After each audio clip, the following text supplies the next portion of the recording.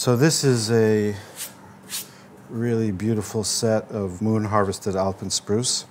So what they do is they'll fell a tree and they'll find the straightest, most beautiful part of the log, split that part of the log in half and split it into quarters and then wedges. They orient that on the saw so that all of the grain is vertical. These consecutive slices are opened up like a book, which is referred to as book matching.